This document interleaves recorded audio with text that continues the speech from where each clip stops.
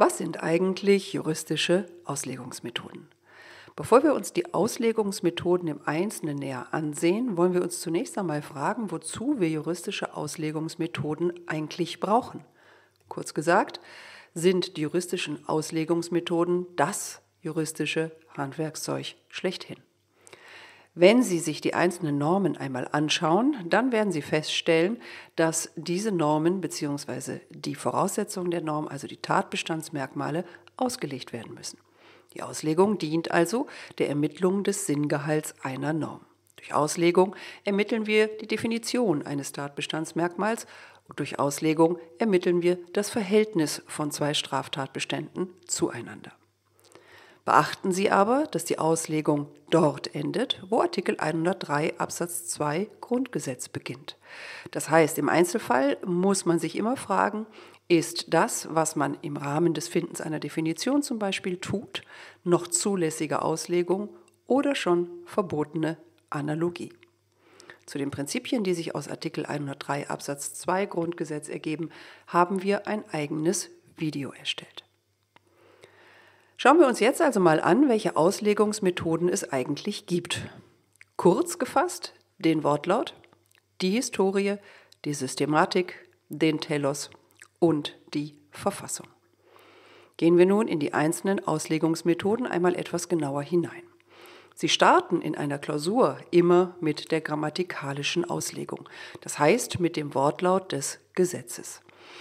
Bei dieser Auslegung wird der Sinngehalt einer Norm beziehungsweise eines Tatbestandsmerkmals anhand des natürlichen und juristischen Sprachverständnisses ermittelt.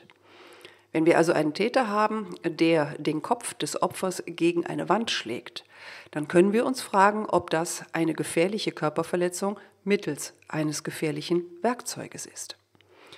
Aus dem natürlichen Sprachgebrauch ergibt sich, dass unter Werkzeuge sicherlich nur bewegliche Gegenstände zu fassen sind. Und daraus abgeleitet könnten wir argumentieren, dass ein unbeweglicher Gegenstand wie eine Wand kein gefährliches Werkzeug ist.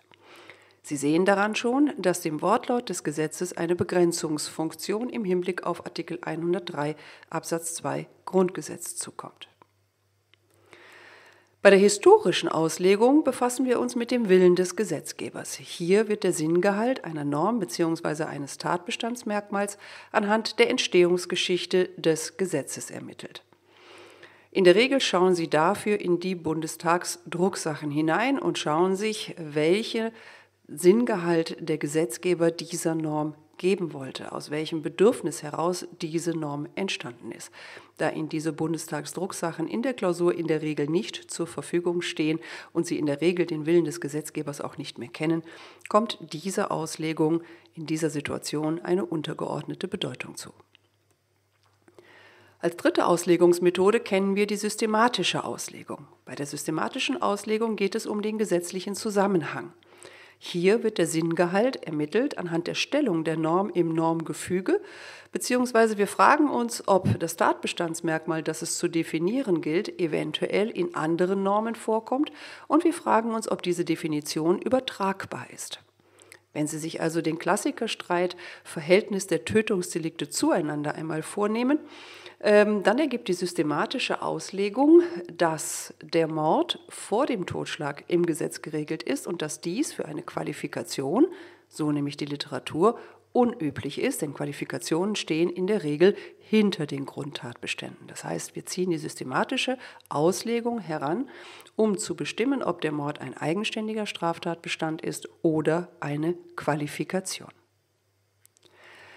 Kommen wir damit zur wichtigsten Auslegungsmethode, nämlich der teleologischen Auslegung. Bei der teleologischen Auslegung geht es um den Sinn und Zweck.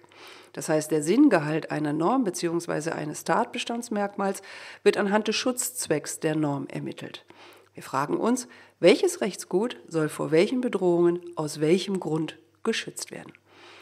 Wenn Sie sich einmal den 244 Absatz 1 1a anschauen, dann werden Sie feststellen, dass ein Dieb nicht nur maximal fünf Jahre Freiheitsstrafe zu erwarten hat, sondern plötzlich maximal zehn Jahre Freiheitsstrafe zu erwarten hat, wenn er ein gefährliches Werkzeug bei sich führt. Er muss es also nicht verwenden, er muss noch nicht einmal die Absicht haben, es zu verwenden, er muss es nur bei sich führen. Und jetzt ist streitig, wie der Begriff des gefährlichen Werkzeugs zu definieren ist. Das muss durch Auslegung ermittelt werden. Und wenn wir uns den Sinn und Zweck einmal anschauen, dann stellen wir fest, dass der Strafgrund wohl das Eskalationspotenzial ist. Daraus abgeleitet könnte man sagen, ein gefährliches Werkzeug ist ein solcher Gegenstand, der dieses Eskalationspotenzial besitzt und das ist immer dann der Fall, wenn er waffenähnlich ist. Im Rahmen der teleologischen Auslegung sind auch kriminalpolitische Aspekte zu berücksichtigen. Kriminalpolitische Aspekte äh, sind immer dann zu berücksichtigen, wenn zum Beispiel der Strafrahmen besonders hoch ist. Stellen Sie sich vor, ein Täter nimmt einen nicht in seinem Eigentum stehenden Strohballen und zündet den auf einem menschenleeren Parkplatz an. Jetzt ist außer dem Strohballen nichts anderes gefährdet worden. Da es jedoch ähm, eine Brandstiftung war, könnten ihn zehn Jahre Freiheitsstrafe erwarten.